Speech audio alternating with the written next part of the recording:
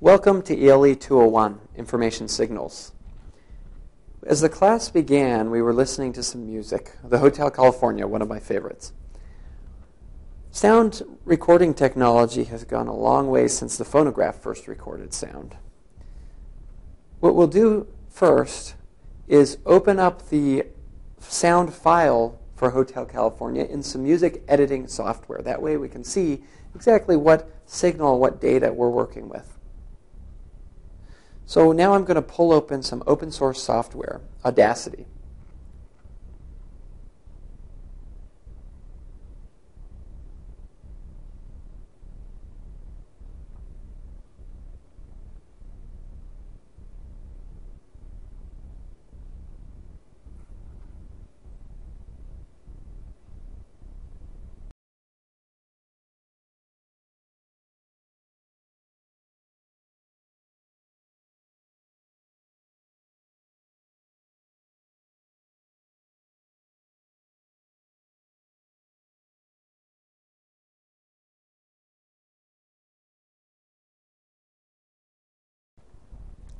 Now, sound is just fluctuating pressure waves in the air.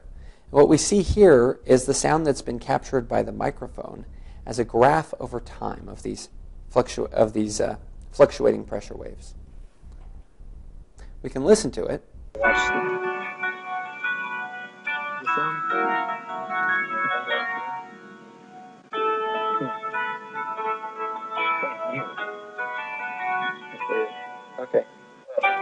You've heard it before, so. Um,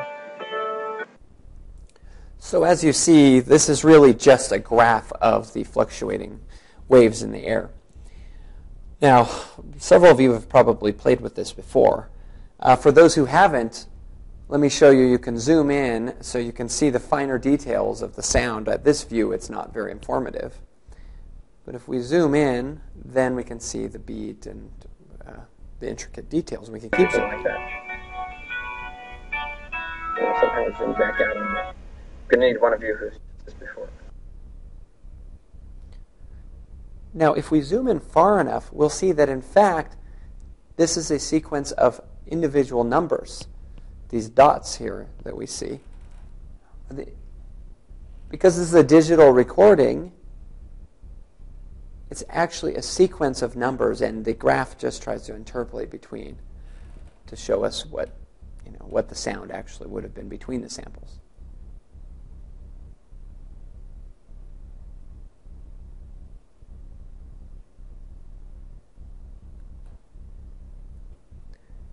Now we can actually redraw, we can actually change these values if we wanted to be weird. So here's a little tool that lets us rewrite the values of the individual samples. One thing I didn't mention was that there are two streams of data here. There's the one on top and one on bottom. And that's because this is actually a stereo recording. There were two microphones used. This gives it stereo spatial features to the music. Notice that the two signals are similar, especially when we're zoomed out, you'd see they're similar, but they're not exactly the same. When, during playback, these are played to different speakers, your left and right speakers. So here, I have to zoom in to be able to actually rewrite it. Okay, there. Making my own uh, modifications to the sound. Now, this is a very short window of time. So when I zoom out, there, you see what I've edited. It's all condensed in one little moment of time.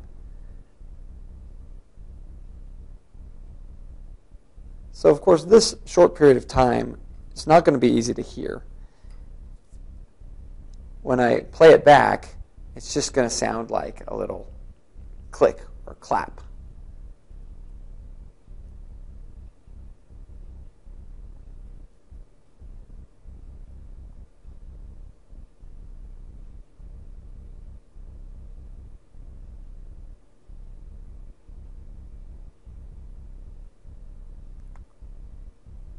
Not playing through the speakers as I want it to.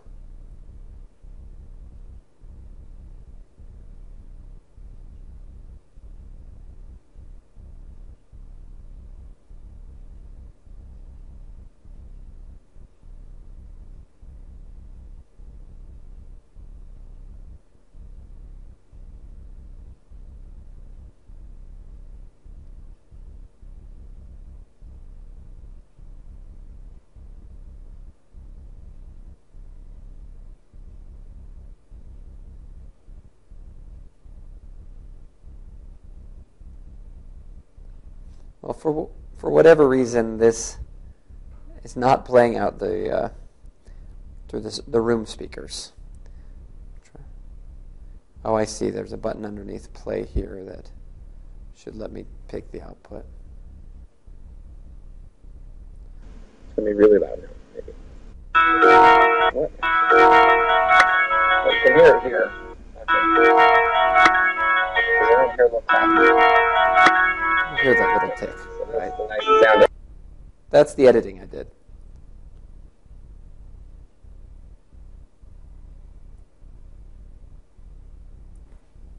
So this was an example of signal processing, which is really a big part of what this class is about. Of course, what I did here was manually process the signal, and that's not an effective way to do it. The, what we really would like is an automated process that looks through the signal, finds the right moments in time to make changes, uses some mathematical tools to make the manipulations that we want, and also understanding what they're going to do. We also would like to analyze signals using mathematical tools, not just to manipulate them, but also just to dissect them, understand them, pattern match them. So let's talk about some examples of signals.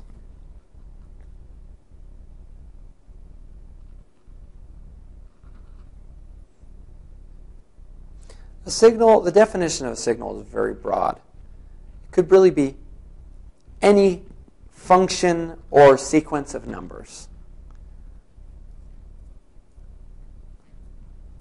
The independent axis might be time, it often is. And if it's a sequence of numbers, then think of the indices as time indices.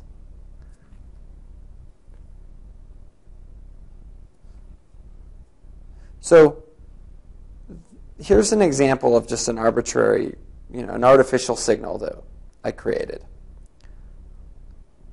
Now, one very common thing you might want to do is uh, smooth a signal.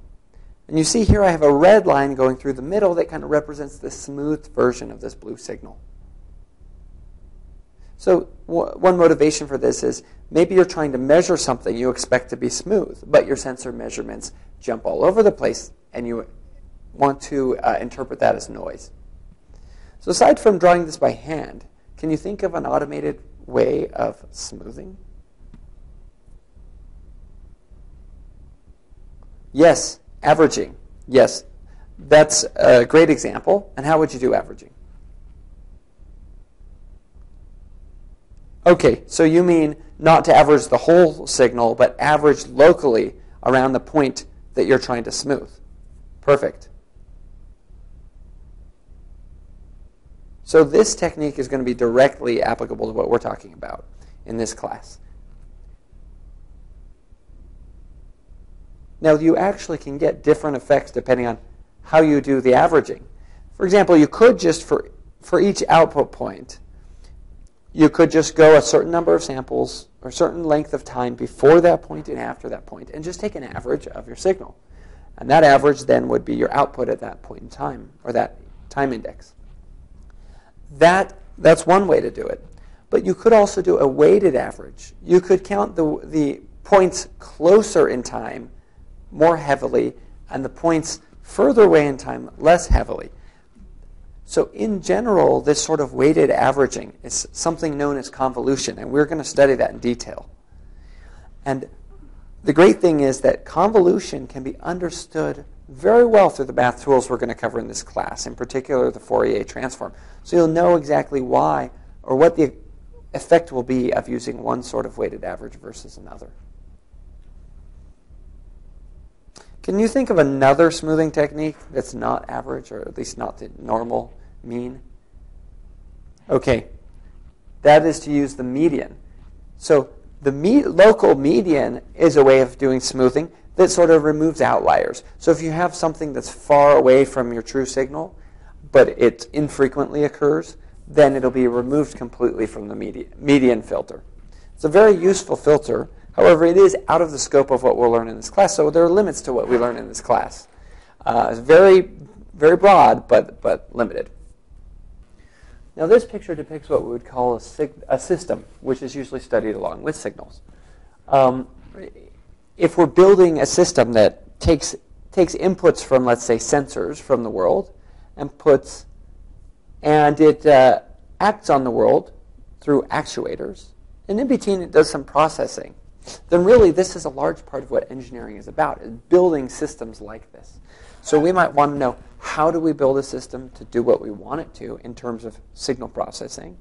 Or we might also want to know if you have a system, maybe we didn't build it, maybe it's just a, a room and you want to understand the echoes through a room or all sorts of physical systems, then uh, again, you would want to be able to understand what is it going to do to a si- uh, signal. So that's why uh, systems and signals are studied together.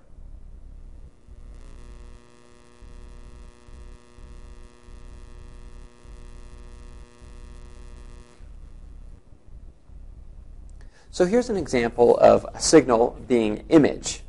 And it's a processing that you might want to do of deblurring an image.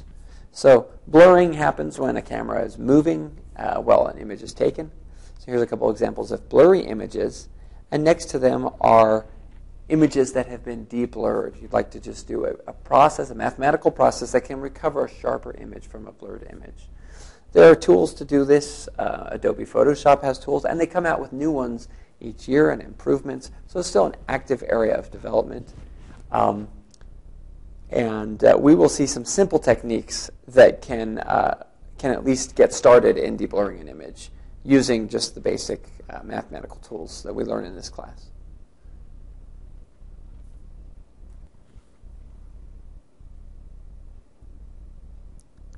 Here we see um, a touch surface. And uh, of course, this is the job of sensors to figure out where fingers are touching the surface, um, figure out whether there's multiple fingers, whether gestures are being made. And all of that has to go beyond just the sensors, but also the processing of the information signal coming from the sensors to detect what the intention is of the movements and to distinguish uh, touch from just some noise uh, in the sensors and so forth.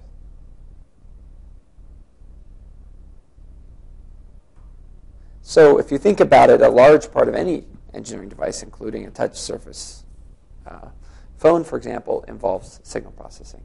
Here next, we're looking at um, radar and tracking.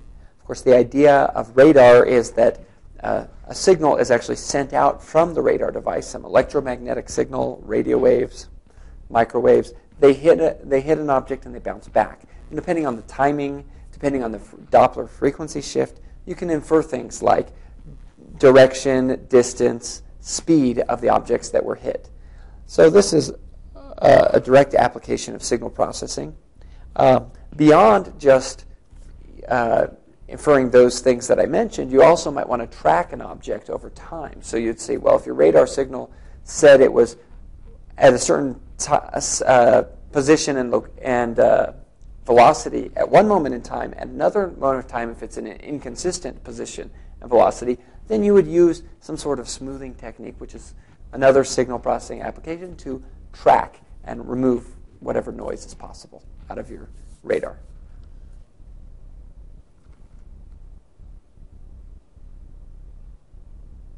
So the material we're learning in this class is directly uh, applies to this type of technology. Absolutely.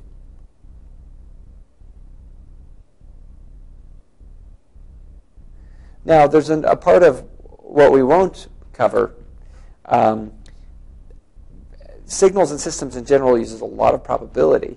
And we're not assuming that you've studied probability, so we're going to be learning things that do not, for the most part, do not utilize probability, which means you wouldn't be able to derive all of the best state-of-the-art techniques for tracking and radar um, without, without going into probability. Okay, beyond that, uh, digital communication is a, um, another big application area of signals and systems.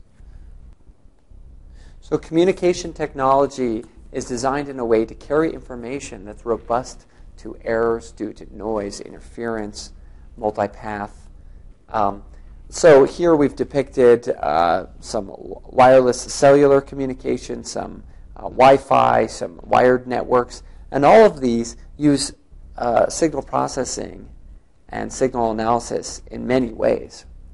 Um, for wireless, you're directly designing signals to be carried by electromagnetic waves uh, in, in such a way, like I said, that will be robust to noise. And one part of that is that a wireless signal can bounce off many paths to get to its destination. And this appears as a bunch of echoes in the received signal.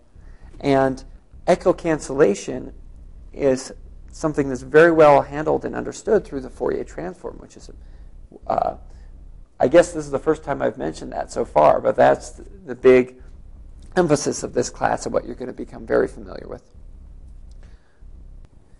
Another aspect of communication is sending multiple signals over the same um, resource. For example, the same airwaves. You can use different frequencies and uh, channels to send multiple uh, multiple audio signals, for example, at the same time. And that's what happens when you use when you do FM and AM modulation over the radio, for example, or cellular phone modulation, where many of you can use your phones at the same time from the same room. It doesn't interfere with each other because we design the signals that way. And this will be something you understand very well from the material of this course. As you can probably tell, the audio recording didn't work during this lecture.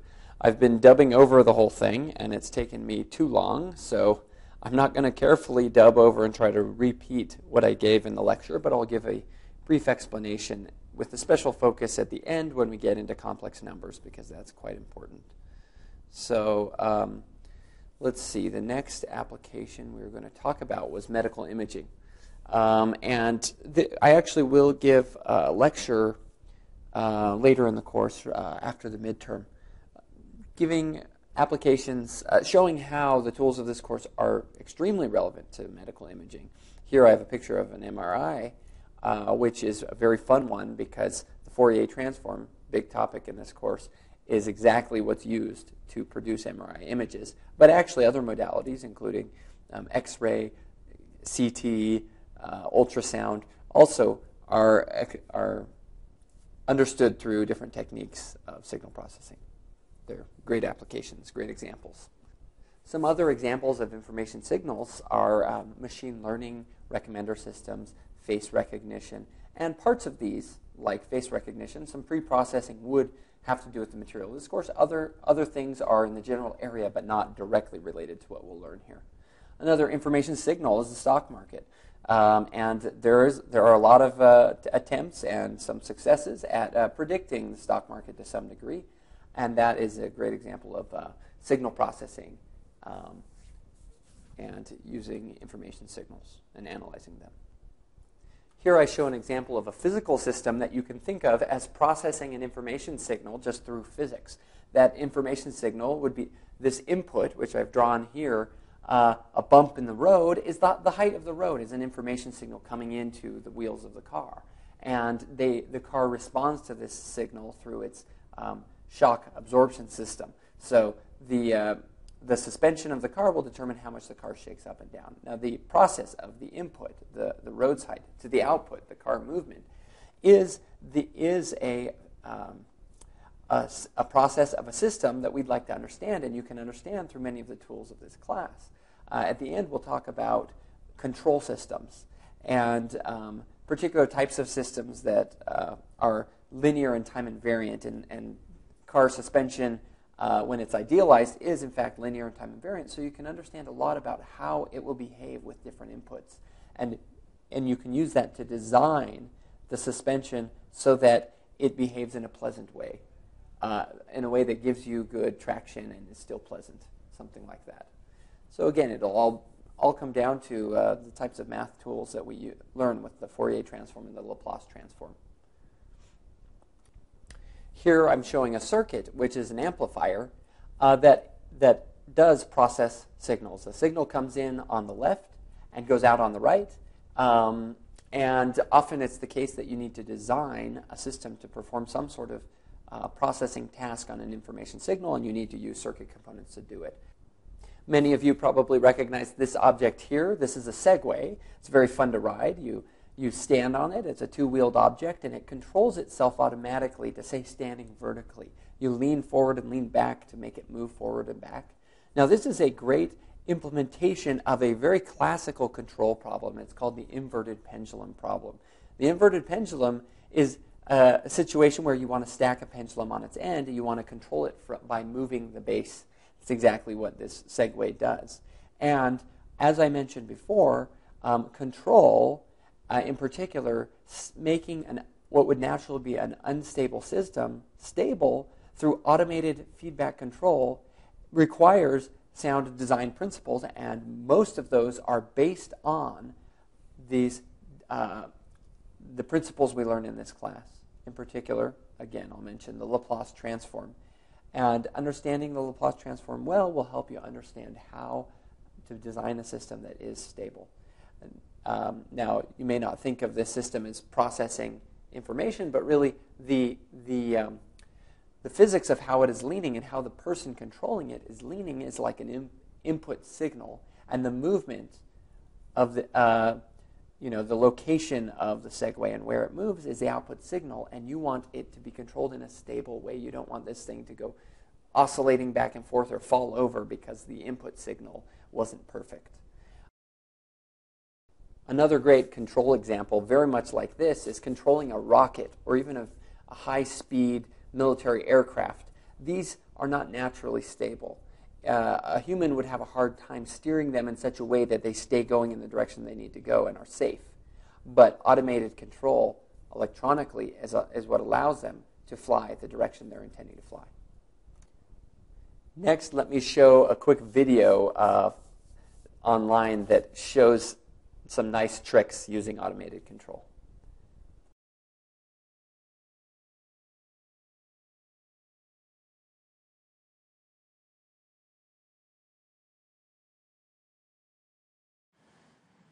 Meet Switchblade, a unique agile robot from the Coordinated Robotics Lab at UC San Diego. The treads provide traction over a variety of terrain, but Switchblade has another trick up its sleeve. Each tread assembly can pivot relative to the central chassis. We can use this ability to change the center of mass and climb over obstacles.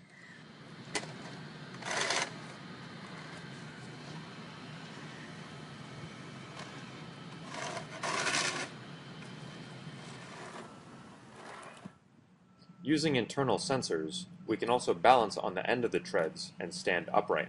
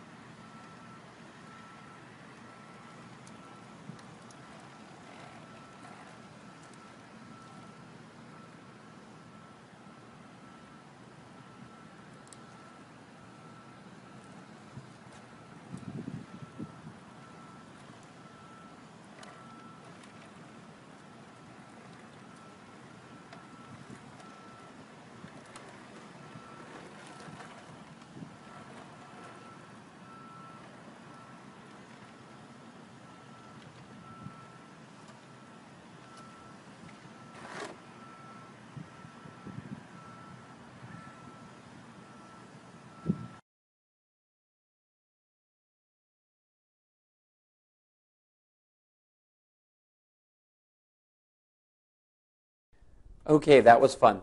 Now, sound is in fact a great example of an information signal that we will use over and over in this class because we can work with it.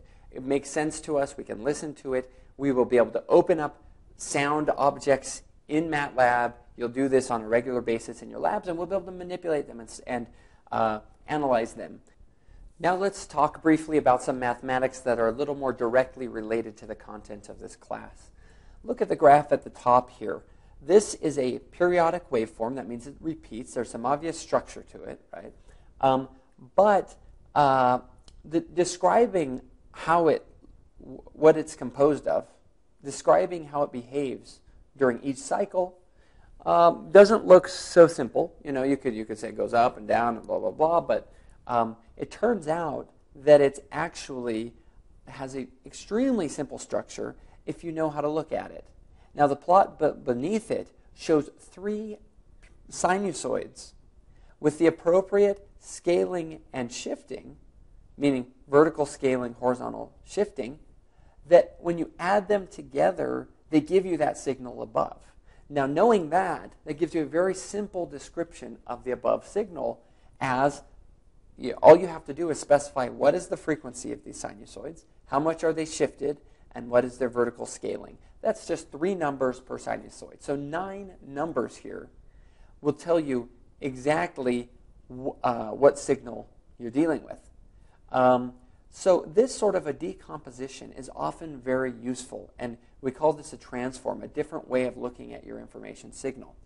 Decomposing into sinusoids is exactly relevant to what we will do in this class, and that's what the Fourier transform does.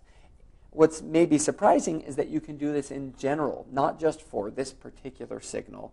Um, even for signals that aren't periodic, you can do something related to sinusoids where you construct the signal from sinusoids. And that's the magic of the Fourier transform. Now, what I have left to convince you is why that's in fact useful. But in this case, you might at least accept that it's useful because it gives us a simpler description. We, that we have a, a, just a few numbers to describe the above signal.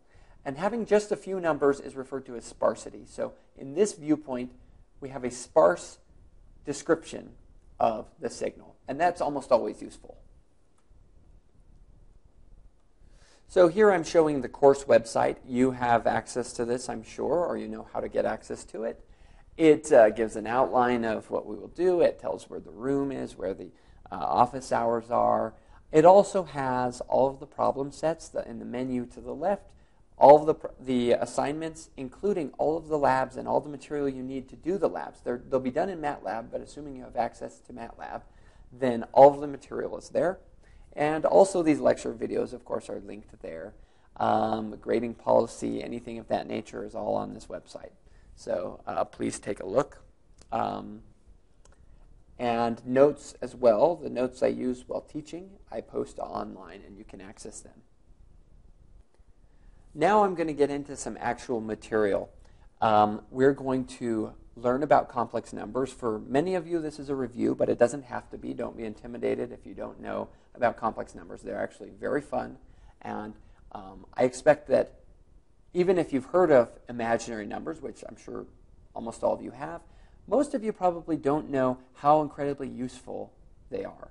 And that's what I'm going to convince you in these last few minutes as well as in the next lecture.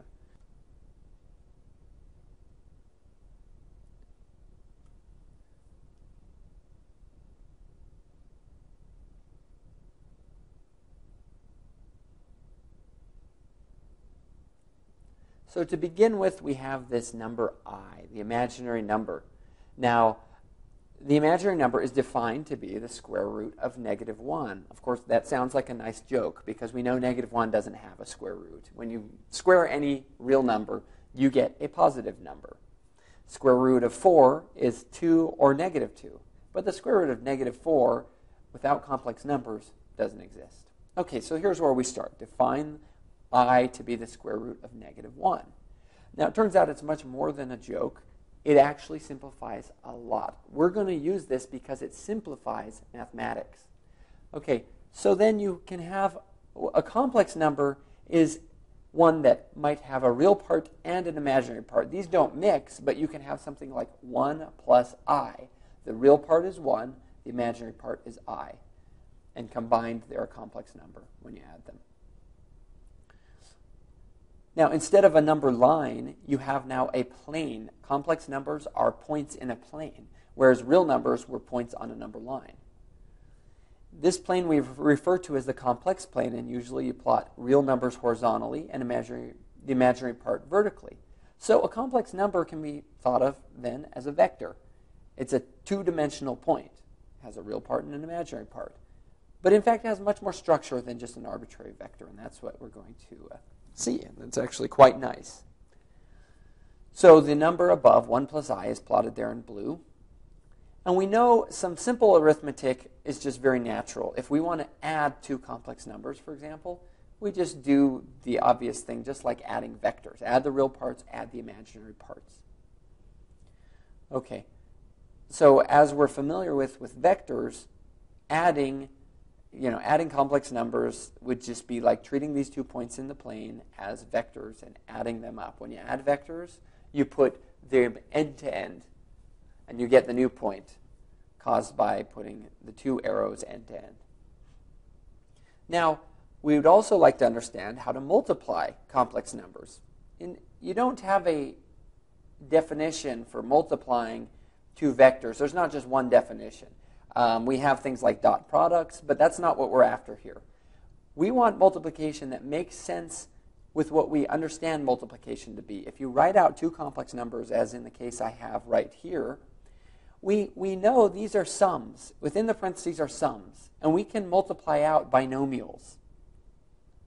So we don't need an extra rule to know how to multiply complex numbers. We can just use what we know from, from high school that you, or from, I guess, a junior high, that you multiply each component of these terms in the sum.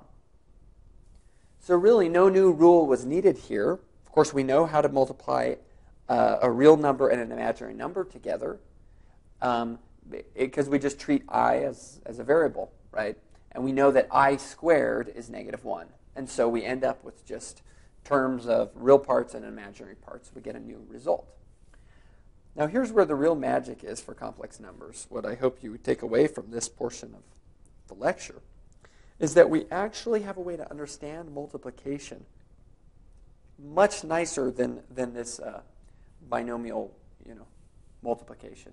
There's a much simpler way to understand how these vectors are multiplied. And this really comes from Euler's identity. Euler's identity is result that we will exploit over and over um, for everything we do in this class. It's the reason we're going to use complex numbers in this class. So here's Euler's identity. e to the i t for any t, t being real here, is cosine of t plus i sine of t. So e to the it has a real part and an imaginary part that's split up this way into a cosine and a sine. Many of you may have seen this the special case where you plug in pi for t. When you plug in pi, you get e to the i pi equals negative 1, or e to the i pi plus 1 equals 0. Many people cite that as their favorite formula in math. How do you verify this? Well, in fact, it's very easy to verify this somewhat bizarre expression. We can verify it using Taylor series expansions the Taylor series expansion is just means match all of the derivatives. Uh, if you match all of the derivatives of a function that's sufficiently smooth, or what we call analytic, then you've exactly matched the function. You actually have equality. And all of the derivatives on the left are easy. Derivatives of exponentials are, are super easy. Derivatives of, of trigonometric functions are also easy. And you can take all the derivatives and you can verify they're equal on the left and the right there. So this formula gives us a new way to interpret a complex number in what we'll call polar coordinates. Polar coordinates, so notice that if we have a and theta being any real numbers here, we'll think of a as an amplitude and theta as a phase. Then if we write out this expression and use Euler's identity above, we can say this equals a cosine of theta plus i a sine of theta. Now, let's think about this geometrically. What does that mean? It means if we take any point in the complex plane, okay, so any complex number, we're going to get a new way to interpret that complex number. Before we were thinking of it as a real part plus an imaginary part. But in fact, we can think about it as its radius to the center of the plane, to the origin, and its angle. And this expression tells us, because of what we know about cosine of theta and sine of theta, this is exactly an expression saying that A is the radius and theta is the angle. So it was convenient that we named theta theta because we usually use that for angles, right? So um, this in polar coordinates, you express the complex number by its radius and its angle. And the, the beauty is, I mean, you could have done polar coordinates even without talking about complex number, but the beauty is that polar coordinates in this case are uh, written simply as a e to the i theta due to Euler's identity. Okay, looks like the video's over.